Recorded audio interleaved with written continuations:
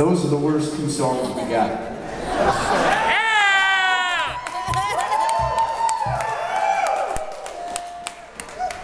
Song number three. It's the best song we got.